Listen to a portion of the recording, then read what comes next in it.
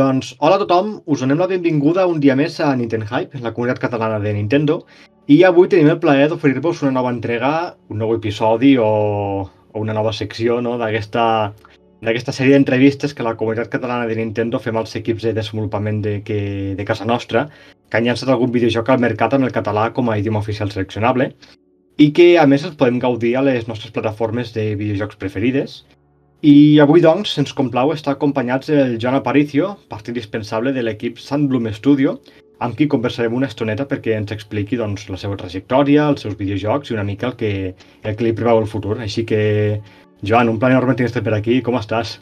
Hola, bona tarda. Bé, bueno, uh, aquí. no. Nervioset, una mica. No, no, tu tranquil, ja. Et tractarem molt bé, ja veuràs.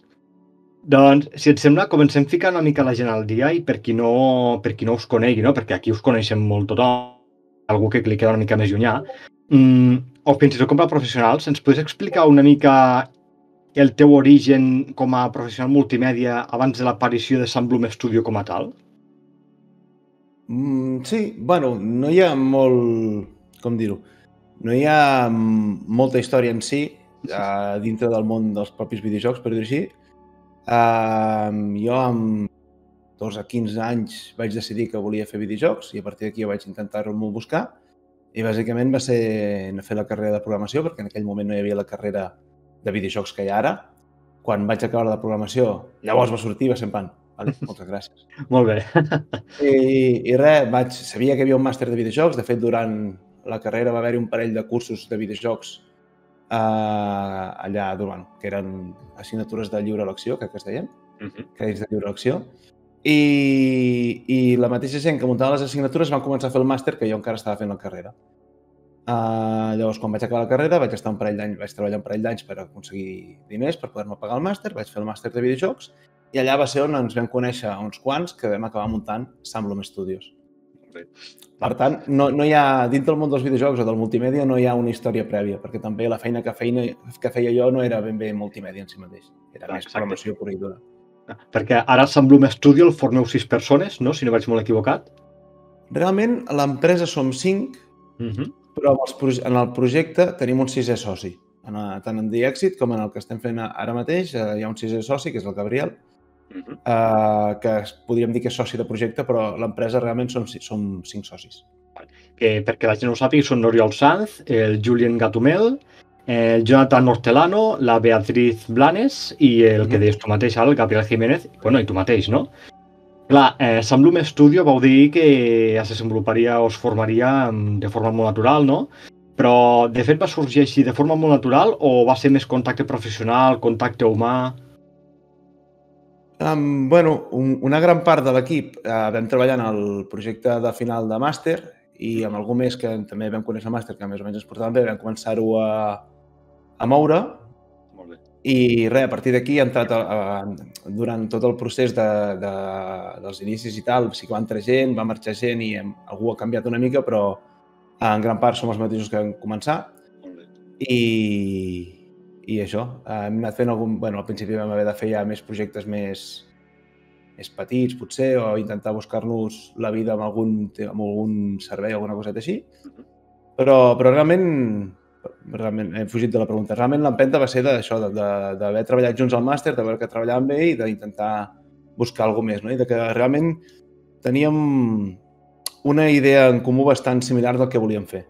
Clar. És a dir, uh, i això crec que és una que ens defineix i sempre que hi ha entrevistes ho acabo traient, i és el fet que normalment veiem que molta gent quan, quan acaba, o sigui, el típic uh, grup de gent que acaba el màster i vol fer un videojoc Clar. i tenen la idea del videojoc i volen fer aquest videojoc, és com que van a fer aquest videojoc, però després queden en, en hores lliures i, i molts cops s'acaba la cosa desmuntant, no? I nosaltres teníem no? clar... Digue'm, perdó. No, no, així perdent una mica el, limbo, no? De, del sí. que és el treball en si, amb el que és la, la part final. Exacte.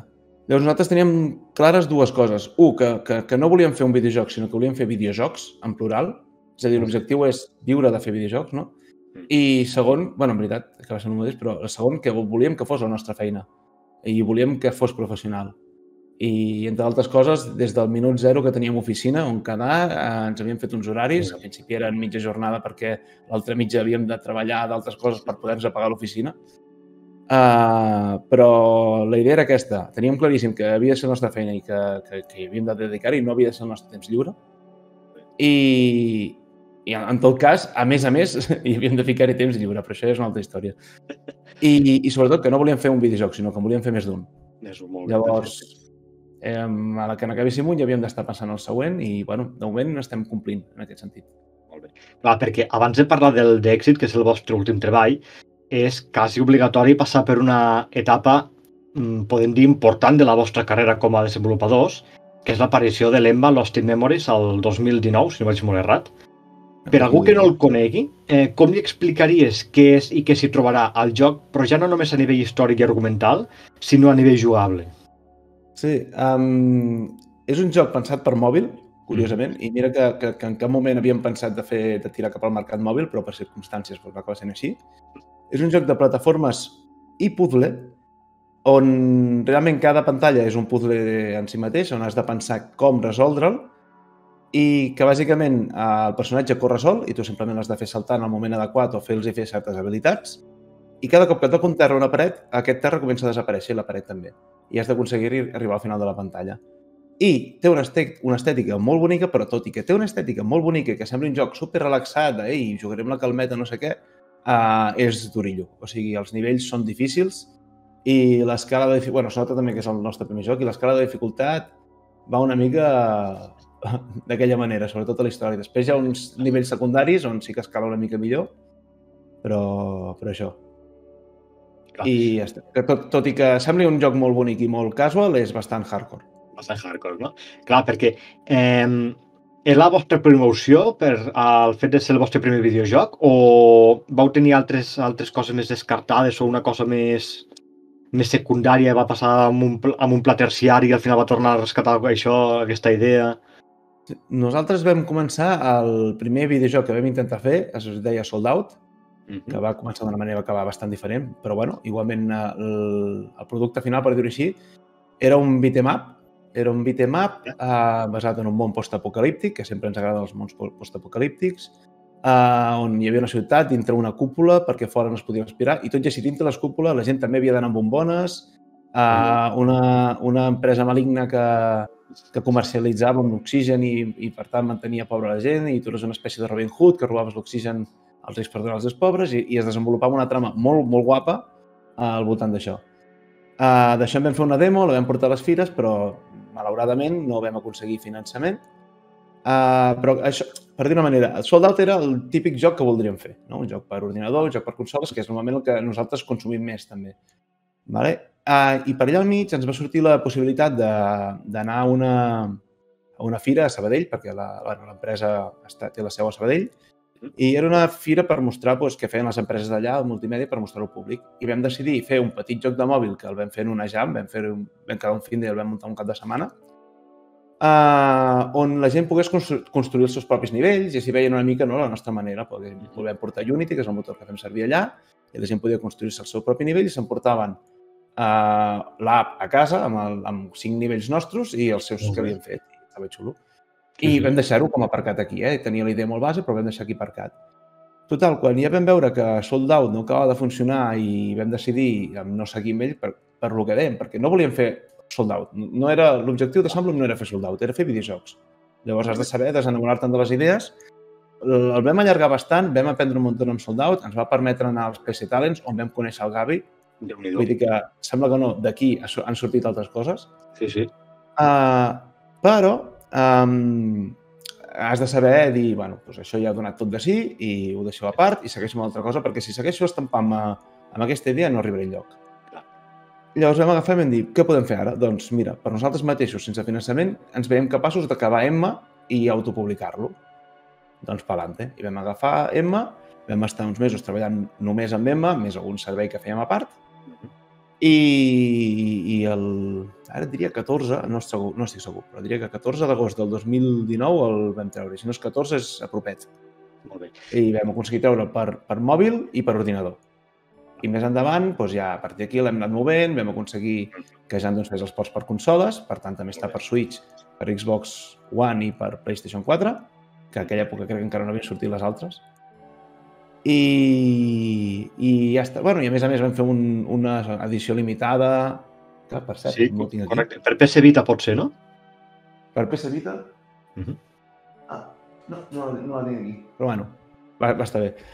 I vulguis que no se'ns va ajudar molt. Um, a més a més va estar bé perquè la vam treure un divendres, vam treure un divendres i el dilluns hi havia la Gamescom i ja anàvem a buscar, ja era la Gamescom que ja anàvem a buscar finançament per nhi I, I la gent ja, els, els publishers ja t'agafaven d'una altra manera, per dir-ho així. És a dir, no és el mateix anar i dir, mira, és el nostre primer projecte, estem fent això, que dir, "Me- hem tret un joc, nosaltres sols, i ha de per ser les nostres felicitats, no? I la manera en què et prenien era una mica més seriosa. És a dir, ja, normalment quan vas a, a una fira d'aquestes i ensenyes la demo, la demo, és, mm, per dir-ho per dir una manera, ha de demostrar dues coses, que seràs capaç de fer el projecte fins al final i, i a més a més que el joc està bé. Mentre que si ja has tret algun joc, el publisher ja té la confiança de que tu saps tancar un projecte, que saps treure'l, i ja, ja té tot això. Mm, Per dir una manera, ja té aquesta... ja li dones aquest punt de confiança, per dir-ho així. Llavors ja no has de demostrar això. Perquè ara la I- perspectiva... Digues, digues. I no, no, simplement has de demostrar que el joc eh, està bé i que, que valdrà la pena financiar-lo. Perquè ara en perspectiva, que perquè una tonteria fa 4 anys no? que el vau llançar oficialment amb si, Sí. eh, esteu contents del resultat final o ara amb la perspectiva del temps haguéssiu canviat alguna cosa o haguéssiu fet diferent? Um, mm, ara i, i al cap de res d'haver-lo tret, hi ha coses que haguéssim fet diferents, segur. Clar. Vale? Però això crec que passa amb tota la, amb, pràcticament amb totes les arts. Uh, he parlat molts cops amb músics de que escolten discs seus de fa uns anys i tornarien a gravar. A vegades Ja, dius, el vas gravar fa un any, no? Uh, perquè mai acaba d'estar perfecte com tu vols, no? I aquest, lluny de més d'estar perfecte, uh, hi ha coses que, que, que no hem acabat de, de fer del tot bé. Un, de, un dels problemes és que l'art i el gameplay no van alhora, que és el que he comentat abans, no? Que l'art aboca a un joc molt tranquil i molt, i molt contemplatiu i molt amb la calma amb, amb el mòbil, mentre que el gameplay és canyero. I aquí, per exemple, jo segurament hagués rebaixat el nivell del gameplay ara. Si, si tornéssim a fer M, haguéssim intentat buscar unes mecàniques més senzilles, un, bueno, Mm. haguéssim, haguéssim donat una volta segur, perquè s'adequés més a, a, com es veu visualment. Clar, lògicament un dels pròxims passos importants per conèixer la Sandbloom Studio actual és eh, l'aparició al mercat del The Exit Eternal Mothers, però és de suposar que darrere de 4 anys de desenvolupament donen per molts moments de procés eh, creatiu, direm, mm, bastant diversos. Ens podries, o series capaç de resumir-nos tots aquests 4 anys eh, fins a arribar al resultat final del joc? Um, ara, sense, o sigui, explicant-ho molt per sobre, suposo, sense entrar massa en detall per, per temes de... Motius obvis. Realment, uh, va ser... O sigui, el projecte el va començar el Gabriel Sol, per part seva, i el va presentar el, PC, el PlayStation Talents. De fet, el mateix PlayStation Talents que nosaltres presentàvem a Sold Out. També ens hi va presentar i va ser on ens vam conèixer.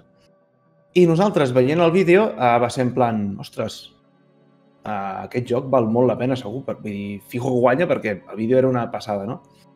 Uh, el Gabriel, doncs, per qui no ho sàpiga, és una persona que ha estudiat cinema, no ha estudiat uh, videojocs. Llavors es va espavilar ell mateix per aprendre a fer servir Unity, per aprendre a modelar amb el que pogués, que per això va el joc és Voxel justament per això, perquè va veure que amb Magica Voxel podia fer coses bastant interessants amb Mhm. facilitat. I va muntar uh, realment un, primer un tràiler superguapo i un cop tenia el tràiler va dir, bueno, doncs ara haig de fer una demo que més o menys s'adequi al que hi ha aquí.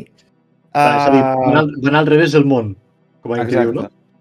Total, que igualment nosaltres vam veure el potencial que hi havia en, en, en, tant en l'idea del joc, perquè la història també la va pensar i la història ens semblava molt, molt guai, i, i la potència de les, de les cinemàtiques era impressionant.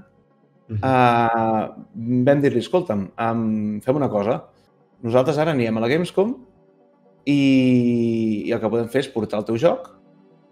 I, bueno, i a part de Gamescom anirem a més fires i intentarem moure joc. A part de que mourem Emma, que l'hem de moure per, per, pels nostres temes, uh, portarem el teu i si aconseguim finançament, fem el joc junts. Què et sembla? Va dir que sí i a partir d'aquí pues, ja és història, perquè vam, moure el, vam agafar la demo, la vam polir una micona, eh, la vam moure i a partir d'aquí doncs, vam aconseguir que algun publisher s'interessés per nosaltres. En aquest cas doncs, va ser Handy Games uh -huh. i tot i així va haver-hi unes negociacions una mica més llargues, vam haver de repolir la demo una mica més, vam parlar una mica del nom, que abans no hi havia el guió, es deia DX i tot junt, llavors bueno, s'assembla també el nom del, del, del joc de taula, pot ser confús i alguna coseta més. Um, total, que finalment vam aconseguir firmar i agost del 2020, un any després d'haver tret bueno, quasi un any, perquè va ser principis d'agost, no mitjans. Uh, un any després de l'estat de tema vam començar el, el, la producció realment de, de, de, de èxit, vale? que primer va ser doncs, preproducció. I a partir d'aquí han estat dos anys, doncs, anar, vam fer tot un planning on havíem d'anar entregant ara un capítol en un altre, hi havia unes, unes milestones i l'anàvem desenvolupant doncs, capítol a capítol. I, I això, vam intentar fer un experiment de començar pel capítol 2 per, per intentar fer el capítol 1 i el pròleg el més tard possible per tenir el max, més experiència i saber més com funcionaria el joc i que ens quedés més polit. Però bueno, no ens va acabar de sortir el tot bé la cosa, al final vam agafar i vam acabar fent-lo ja per ordre i, i ja està. Clar. I mira, d'aquesta forma arribem, com és lògic, a la, a la vostra creació més recent, que és el d'èxit, com comentàvem. I mira, podríem agafar una mica la base de les preguntes que us he fet per l'Emma, per tal que la gent vegi una mica el contrast no? que hi ha entre les, entre les dues obres. Així que, com li explicaries a la gent què és el d'èxit i què s'hi trobarà també a nivell històric i a nivell jugable? Vale. Uh... pregunta, pregunta suau, eh? Sí, sí. No, però això està bé. Això és algú que, que hauria de quedar bastant clar. Um, The Exit és una aventura uh, voxel cinematogràfica on realment visualment hi ha un contrast molt bèstia, és a dir, tu veus, tot i que veguis un art molt senzill, i fi, fico senzill entre cometes perquè més endavant ho explicaré, uh, a nivell tant cinematogràfic com d'il·luminació hem buscat un, un, un enfoque molt més un enfocament molt més realista, molt més semblant a jocs uh, que s'apropa al AAA. Tot i que no sigui un AAA, s'aproxima bastant. Correcte. I, I tot això explicant una narrativa molt profunda. Vale? No és un joc, no és com un Mario de reptar la princesa i me'n vaig, sinó tota la història al voltant eh, és realment bueno, una alegoria a la vida, per dir-ho així, eh, a partir de la mort no? i del que hi ha del, del més enllà. A més a més, en quant a jugabilitat, vindria a ser un joc amb... Realment volíem que fos un joc de plataformes senzill, però ha acabat sent un joc de, de puzzles bastant, bastant canyero.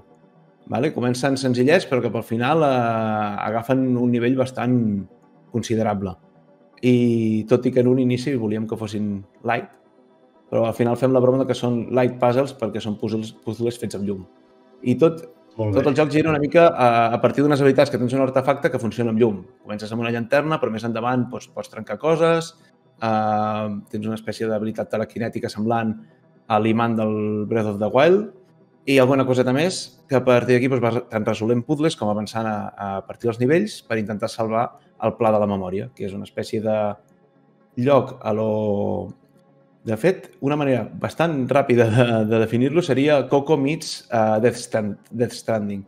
Sí, perquè té una mica... Ambiciós, eh? Ambiciós tot plegat.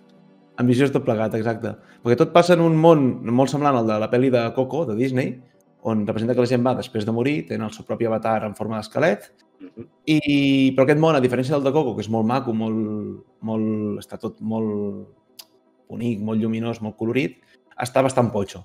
Vale? Sí que hi ha zones una mica més colorides, però en general hi ha corrupció per tot arreu i s'està eh, enfonsant. I tu has d'aconseguir salvar-lo fent servir aquestes habilitats. Uh, és un joc entre cometes no violent en el sentit de que no busquem l'enfrontament contra els enemics. Quan hi ha un enemic tu no hi tens res a apel·lar i normalment el que has de fer és intentar evitar-lo. Fugir d'ell o com a mínim evitar que ell et faci alguna cosa, però mm, en molt poques ocasions tu podràs atacar. Realment, per tant, la mecànica principal en quant a enemics és el sigil, no sé si es diria així en català.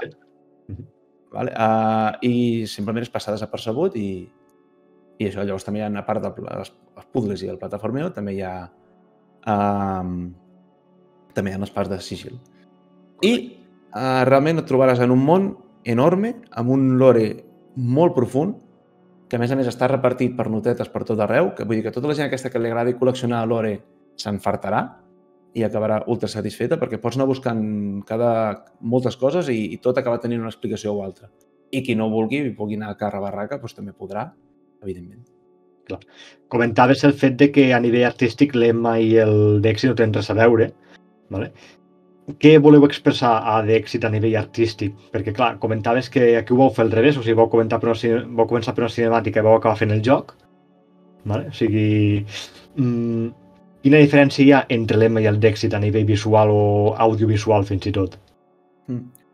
En realitat, tampoc et sabria dir si són tan diferents en quan el que és més core. O sigui, la diferència més gran és que Emma és 2D i és dibuixat a mà i, i d'èxit és voxel, no?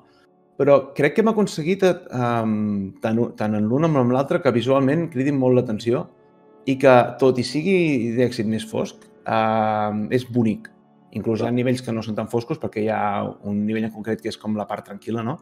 I allà tot és més, o sigui que és més lluminós i és més uh, tons una mica més alegres. Uh, és, normalment mires imatges d'èxit o GIFs o tal i acostuma a ser bonic i l'atmosfera està molt ben trobada i crec que, de fet, això, això és el que s'assembla més a, a Emma, no? que també a nivell musical i, i, i a nivell um, a nivell visual també és, és bastant atmosfèric i també et, et porta bastant al lloc.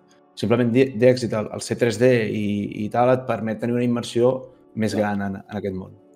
I sí que a nivell musical hem fet un salt, perquè, per exemple, la música d'Emma la vaig fer jo aquí amb el, les, les meves eines, que són les que són, perquè no he estudiat per això, mentre que ara amb, amb The Exit sí que hem pogut contractar el Víctor, un músic professional que ens ha fet la, la, tant la banda sonora com els sons del joc i, i tothom en està parlant meravelles de, de la banda sonora. Clar. Eh, quina ha sigut la rebuda de la gent al d'èxit? Doncs la veritat és que tothom qui juga eh, li agrada molt. Hi ha hagut alguna crítica negativa a Steam, però majoritàriament són crítiques bones a les notes també que ens posen normalment a, a les webs també acostumen a ser bones, també amb alguna excepció. I és el que veig, que, que tothom qui juga li agrada molt, li atrapa. A... El que veia també és quan vam treure la, fa un, a febrer vam treure una demo per l'Steam Next Fest i és que tothom qui jugava deia, ostres, es quedava com... Sempre feien, ah, però ja? Vull més, saps? I això, i també volia remarcar en, en especial no, la, la rebuda de la comunitat catalana perquè el joc doncs, ha sortit en català i això ha fet que, que, que, que hagi tingut una rebuda per la comunitat molt bèstia. Que per altra banda fa molta gràcia perquè molta gent l'està streamejant, però com que molta gent la vol jugar, la gent que l'estreameja té pocs views perquè és, és que no vull fer-me spoiler i, i, i, passen aquestes coses i, ostres, en part sap greu també, no? Però alhora mola veure tothom jugant i, i, i, i com l'està gaudint, no? més enllà de que alguna coseta, no? que pugui passar algun bug que sigui tonto que encara hi ha, però, però veure com agafen els puzzles, com s'esperen els cinemàtics, com, com llegeixen el lore, com els agrada, com l'entenen, com es fan les seves teories abans de que acabi el joc de què passarà o què no, i, i això està, està, bueno, omple un munt. De fet, el, el d'èxit de General Mothers és un videojoc que podem trobar i comprar arreu en format digital, excepte la Nintendo Switch. Eh, per, però, bueno, parlant presencialment amb tu o, o amb algunes persones de les, de les entrevistes que t'ha fet la gent, has expressat tu el desig per tal que el joc estigués a la botiga de Nintendo, però que per causes determinades no ha estat possible. Uh, es poden dir quines són les causes per les quals no ha estat possible o estan una mica més així més reservades? Sí, o sigui, bàsicament l'elecció de no treure un Switch vale, va ser bàsic, um, volíem que el, que el joc anés el més fluid possible i, i que realment es pogués veure amb tota la potència, o sigui, tota la potència visual que té, sense treure-li masses elements ni, ni la il·luminació ni coses així. I per això vam decidir directament tirar a Next Gen i, i una mica també a, la, a les consoles que ho aguantessin. Vale, bàsicament, la, la Switch segurament haguéssim hagut de treure moltes coses, no s'hagués vist igual i eh, inclús així possiblement hagués anat una mica més trebat, Llavors no volíem que la gent tingués aquesta experiència al jugar al, a, a The Exit. I, I igualment remarco el que has dit. Jo sóc el primer que sóc Nintendero de tota la vida, vull dir, vaig amb la samarreta ara de l'Smash i, i vull dir que és el primer que em sap un greu terrible que no, que no hagi sortit per Switch, més enllà de, de nivell també empresarial, que vulguis que no són moltes vendes i més Switch sent un gran aparador per, per jocs indie, funcionen molt bé allà. Uh, més enllà d'això, a nivell sentimental, a mi em sap molt greu no poder jugar a d'èxit a, a la Switch. És una cosa que doncs, fa mal a la patotuela. Per Clar, això que, això Però... que volia comentar. Entre el que et diu el cap i entre el que et diu el cor, creieu que és un repte impossible o us ho heu ficat com a meta en algun moment determinat? Um, si més no, era, és difícil, era difícil treure-ho tot alhora, que era el que és, realment és més recomanable per tema de màrqueting, perquè bàsicament fas el màrqueting per, per, per un i ho fas per tots, no? Clar. Més endavant, ara mateix no, no, no puc dir si, si ho farem o no. No puc dir en molts sentits, en, en que realment no ho sé i en que encara que ho sabés no, pod no ho podria ah, exacte. dir. Vale. No, no està, està, de moment no està decidit res.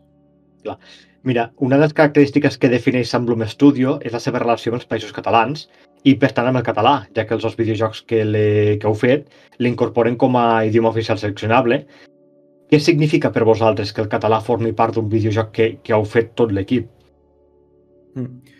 Sí, per nosaltres um, el tema d'incloure el català, bàsicament, a part de que és fàcil, no? perquè és la nostra pròpia llengua i, i no hem de contractar ningú per... Bueno, estaria bé, potser, però no, encara que no tinguéssim pressupost, per exemple, amb Mema no el teníem, doncs ho vam fer nosaltres mateixos i tal.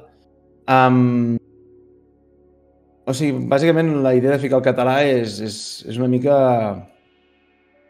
també per la, per la creença no? en si mateix de, de, de nosaltres. Almenys jo de petit no vaig poder jugar a cap videojoc en català. És, podia consumir cultura, podia veure pel·lis, podia veure sèries podia llegir llibres, no? que és una manera de consumir cultura i és una, és una manera d'oci, no? és un mitjà d'oci, i tenia oci, oci en català en tots els aspectes menys en els videojocs. I pensem que és un, és un, és algo important, no? el poder viure l'oci dels videojocs, que a més a més és un oci que està creixent i que cada cop està jugant més gent i que dediquen més hores de, del seu temps lliure a, a, a, aquesta, no? a, a aquest tipus d'oci, que puguin gaudir-lo amb la seva pròpia llengua, perquè si no al final és una de les coses més que farà que el català s'acabi perdent, que és que al final només el podrem fer servir a la feina o, o tal, i no, no estarà dins del nostre, des de, del nostre oci, no? on estem gastant més hores de, del nostre temps lliure.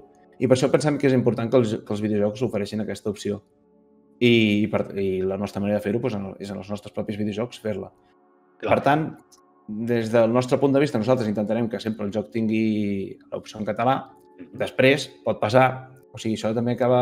Quan vas tu sol, en el cas d'Emma no hi ha cap problema, perquè jo me lo guiso i me lo como.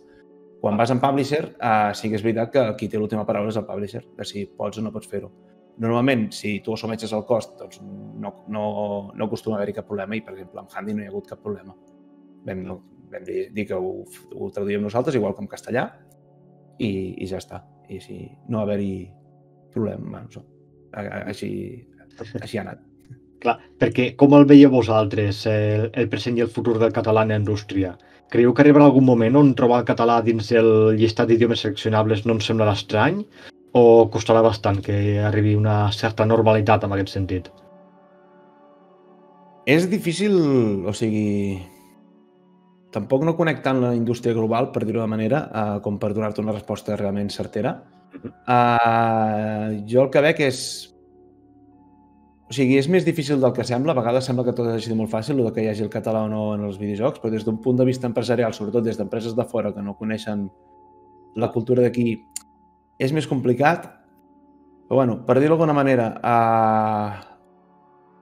avui en dia, per exemple, la Generalitat, TV3, tradueix una pel·lícula, la posa als cines i sap que hi anirà gent que, que la veurà i que, i que la consumirà. Després tenen els seus, tenen els seus propis canals on, on passar-la, que és TV3, i més o menys d'allà poden explotar-ho més o poden explotar-ho d'una manera o d'una altra. Mentre que en els videojocs crec que no hi ha aquest mitjà, és una mica més complicat, ¿vale? Llavors, per això és tot el que fa que, que en general potser el futur no sigui tan fàcil que sigui. Que no vol dir que no pugui arribar a ser així. I que no treu que sigui un altre motiu més encara perquè que comencem sent les empreses d'aquí les que, les que apostem per, per fer videojocs en català. I a més a més, si es veu que els videojocs que es fan en català es, es compren i, i tenen aquest recolzament, ajudarà més a que el resto d'empreses ho entenguin. I bàsicament, a base de dir-ho, també es, fa, es coneixerà. Vull dir, uh, no fa tant que Steam torna, va deixar de tenir-ho, ara torna a tenir el català com a idioma, Xbox també ho ha aconseguit, Correcte. Uh, vull dir que, mica en mica, les empreses van veient-ho i això és el que sí que fa tenir esperança de que encara més endavant uh, vagi havent-hi aquest, no, uh, aquesta conscienciació i aquest, aquesta possibilitat de, de poder traduir o no traduir jocs en, en català. Perquè deixant una mica de banda els videojocs com a tal, eh, està una mica o bastant clar que una part molt important del sector en el qual us moveu no depèn només de vosaltres, sinó que depèn de factors externs com el boca a boca de la gent, eh, com parla de vosaltres la premsa i un llarg, etc bastant erràtic, podríem dir, no? Tu que ets una persona que li agrada molt remenar-se per la comunitat i, i, que és molt, i que ets molt proper amb tot plegat, quines sensacions et transmet la comunitat? O sigui, quin paper juga la, la pròpia comunitat en, en, en si quan un videojoc independent surt al mercat? Tenint en compte que a l'any potser en surten 12.000 o 13.000. Totalment. Doncs, a veure, és complicat perquè el... Clar, també suposo que depèn de la, de la comunitat, ¿vale? Uh, sí. Però el, vulguis que no, el videojoc és, és un mercat global i acaba, a, acaba globant a tot el món. I així com, a diferència, per exemple, d'un grup de música, jo faig un grup de música i on haig de començar a triomfar realment és en l'àmbit local i mica en mica ja aniré creixent. Pujant. En un, en un videojoc depèn, suposo, pots començar possiblement amb videojocs petits, però, per exemple, amb un videojoc de l'envergadura de d'èxit no pots, no pots anar només a, a apuntar a la comunitat local. Has d'anar a apuntar tot el món sencer. Uh, llavors, el bo que fa la comunitat local és, és o, per dir-ho així, el bo que fa la comunitat és el boca-orella i vulguis que no, fa una mica d'altaveu, però segurament el que has d'anar a buscar és una comunitat més gran, més enllà. És a dir, tu hauries de començar a buscar ja no només tenir, per exemple, aquí pues, tota la comunitat catalana, que vulguis que no, pues, jo, al formar-ne part, pues, també ja la tenim una mica a mà, per dir-ho així, però sí que és el seu, l'ideal, cosa que ara mateix crec que no tenim i és un dels projectes a futurs de, de Sandblum, és crear comunitat al voltant del propi estudi. És a dir, que molta gent et conegui, tenir algun, algun lloc on poder-te comunicar i que molta gent, sí o sí, es cregui el teu producte i, i, i el vulgui i, no? I, i, i sàpigues que, que el comprarà segur quan sortirà, però a més a més no, aquesta comunitat no només té el paper de comprar, sinó té el paper d'altaveu. És a dir, per dir-ho manera, si hi ha mil persones esperant, esperant que surti el teu joc, quan el teu joc surti o quan treguis algun nou, serà mil persones que faran retweet, que s'expandiran a que tota la informació que tu eh, donguis arribi a més gent. I aquesta és una mica la, la, la funcionalitat de la comunitat, no? l'expandir, evangelitzar el joc. Clar. I com més gran és la comunitat, doncs més, més lluny arriba. Perquè la premsa en si, quin paper hi juga en tot plegat? La, la premsa, de, de fet, tampoc et sabria dir ara exactament massa què onda, perquè això, per exemple, això ja a nivell personal, no consumeixo gaire premsa de videojocs. Clar. Llavors, en si, inclús a vegades, lo de les notes tampoc mai me les miro. I és una cosa que a nivell personal no he acabat d'entendre mai massa. Però, eh, en principi, en teoria, la qüestió és... Eh, el seu és que quan treus un joc, ho passis a, abans de que surti, ho passis a certa premsa, a certa premsa, en principi, doncs, més gran o més petita, depèn del que puguis permetre, i aquesta premsa hauria de fer previews no? i començar a ensenyar una mica el que tu els hi hagis donat en, en si que, que ensenyi del teu joc. I aquí fa una mica de màrqueting i en principi t'hauria de donar a conèixer, no? hauria d'analitzar el teu joc i hauria de bueno, fer de premsa, no? és a dir, que aquest joc sortirà no? i comunicar als seus oients, lectors, el que sigui, que, que aquest joc existeix i sortirà. I un cop surt, el paper de la premsa hauria de ser doncs, agafar aquest joc, avaluar-lo i, i el mateix, donar la notícia no? i de que cert joc indie ha sortit. A partir d'aquí, doncs, la premsa, si ja és més gran o més petita, apuntarà més a un públic més triple A o més doble A o més un, més un indie i anirà a apuntar als seus lectors, no? al públic que tinguin. Però una mica la premsa hauria d'aconseguir arribar a la gent que normalment no arribaries amb la comunitat. És a dir, la comunitat et permet arribar doncs, a la gent que està propera i la premsa t'hauria de poder arribar serviria una mica de parador més gran, no? Per poder arribar a gent que no, de per si no t'haurien de conèixer, no tindrien per què conèixer de cap altra manera. Però, en canvi, si llegeixen aquesta revista o, o veuen aquest canal de YouTube o el que sigui, doncs a partir d'aquí descobriran que hi ha un joc que els hi pot cridar més o menys l'atenció i si els hi crida més l'atenció investigaran i t'entraran a la teva web i tot això és una mica el que es diu l'embut no, de màrqueting. Uh -huh que comences amb alguna molt gran i mica en mica doncs, es va colant i finalment et queda la gent que, que realment t'acaba comprant el joc. Us han tractat bé vosaltres, tant la gent com la premsa? Doncs jo crec que la comunitat, com he dit abans, especialment la catalana, ens ha tractat molt bé. A tothom que ha jugat al joc està molt guai. Hi ha, hi ha inclús gent i, hi ha, i fora de la comunitat catalana que, que està super a tope, que l'està recomanant a tothom, que Canal on va, ei, ha jugat ja d'èxit, no sé què, qui que és d'èxit, és fam, no sé què, és l'hòstia, mira aquest joc, està molt guai. I en quant a nivell de premsa, eh, aquí haig de dir que, mm, de moment, vull dir, si busques, a, eh, sobretot en premsa més gran, ens sentim una mica ignorants. Clar. Amb el que són premses més, més grans. Uh, sí que amb, amb, altres, amb altres canals més petits, inclús en, o revistes o webs més petites, ens han donat nota i ja sí que més o menys ens han anat rebent, no? Però sí mitjans més grans que, que, que hagués anat bé, mm, hem vist que ha faltat una mica de, de suport i de, i de um, cobertura, ara, no em sortia la paraula. Una mica de cobertura de, eh, que hem, surt, saps? Que hem sortit en aquest sentit. Però bueno, també un, els jocs indie a vegades sí que estem molt... ens fixem molt en els fenòmens que més han cridat l'atenció, però moltes altres vegades eh, surten, eh, de bones a primeres no són... No, no, no ho pet, perdó, no peten a la primera setmana ni res i mica en mica van, van obrint-se pas. Vull dir que també funciona un altre ritme com el triple. Sembla que tot és com el triple A, que la setmana que surt, el dia que surt, l'ha de comprar tothom i ha de tenir 70.000 vendes i, i bueno, potser els indis hem d'anar una mica més passet a passet, no sé. Per exemple, a vosaltres us han ignorat tècnicament, per entre moltes cometes, el vostre videojoc en grans mitjans, però n'hi ha d'altres jocs independents que de la mateixa categoria que la vostra que els eleven amb una, bueno, amb una categorització molt més, eh, molt més amb molta més potència, no? Vull dir, què creus que ha passat aquí? O sigui, què creus mm. que passa? Sí, de fet, en si, el problema és que l'etiqueta indie, ja de per si, agafa un ventall molt gran de jocs. És a dir, agafa des del el, qui sigui que estigui muntant un videojoc des de casa seva ell sol uh, perquè pot i, i, i el pujarà i, i ja està. Uh, potser youtubers que ho fan una mica més de, de cara i ulls, que, que no són ja novatos i també es dediquen a fer videojocs ells sols, que això també està molt guai. Uh, equips com el nostre, que són petits, però que com, com, com quan vam fer Emma, que és un equip autofinanciat, o inclús agafa de, com d'èxit que ja és un equip amb finançament i, i també són considerats indis, tot i tenir un, un, un budget, no? un pressupost una mica més gran que, que la resta de jocs.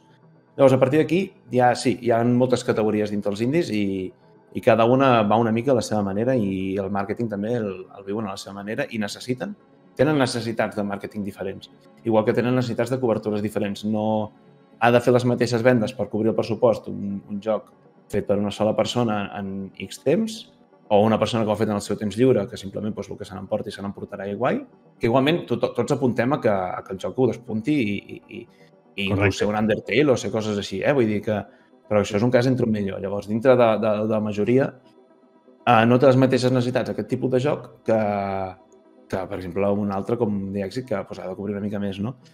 I dintre d'això, hi ha més que de categories o no categories, crec que és una mica també el que cridi l'atenció al teu joc i el bé que facis el... i també una mica com facis el màrqueting, si aconsegueixes unes imatges que cridin suficient l'atenció, i a vegades sort també, a vegades és, eh, ho has fet tot de conya, però la persona que ho ha vist, pel que sigui, no ho ha clicat, uh, just quan havia de fer la review doncs, s'ha ficat malalt o el que sigui i, i la fa un altre dia. Uh, poden passar coses molt... O sigui, a vegades la, sort, la sort també té un punt d'influència. I és com, per exemple, inclús Among Us és un exemple bastant curiós d'un joc que va sortir, va estar dos anys sin comer-se un torrau, per dir-ho així, i a la que van començar a rejugar X streamers ho va patar perquè van tenir la sort de que ho veiessin i perquè la, la fórmula estava bé, però és que la fórmula ja hi era. Doncs aquí és el punt. Tu pots haver fet tot bé que si no hi ha hagut aquest clic, que a vegades és pura sort, um, no t'emportes res. Però, tot i que sigui sort, uh, tu has de fer, o sigui, l'has de buscar, ha de ser una sort buscada. Perquè si la sort passa però tu no ets allà, mec. I jo crec que la diferència pot anar una mica per aquí, en com, com s'hagin mogut, uh, temes de màrqueting o, com hagin anat eh, en aquest sentit. A part de sort, també una mica és com, com s'hagin fet les coses o no. Clar, perquè ara, com a última pregunta ja així de, de remat, no? Quins plans teniu de cara al futur? Tens algun projecte tu a nivell individual que t'agradaria comentar o és tot a nivell d'equip? de moment és a nivell d'equip, també perquè anem bastant bastant a pinyon. I també perquè, com, com he comentat, és la nostra feina i, i, i dediquem allà bastant part del temps. Uh, va, I això. I ara, bàsicament, estem amb una demo uh, ja per, per tornar a portar-la a fires i tornar a aconseguir un altre cop finançament. Jo, bueno, a nivell personal, tinc alguna idea, alguna coseta, però de fet la idea igualment seria per muntar-la i portar-la i fer-la com a equip després. Però primer s'ha de, de desenvolupar i s'ha de portar amb caria i ulls perquè els primer, o sigui, la primera prova és que, que l'acceptem com a equip, no? Si no, ja com a equip no, la, no hi creiem, no la portarem enlloc. Per, per això ha de tenir caria i ulls, perquè sí, no, mira, és fàcil, és... No, no, no, no acostuma... No acostuma a, a passar, no? Clar, exacte. Doncs, Joan, jo crec que hem descobrit bastant bé la vostra trajectòria dins d'aquest món que ens apassiona, però tens algun missatge que t'agradaria dir a la gent que ens vegi o, o alguna frase d'aquestes lapidàries que ens que hem quedat eh, per dir?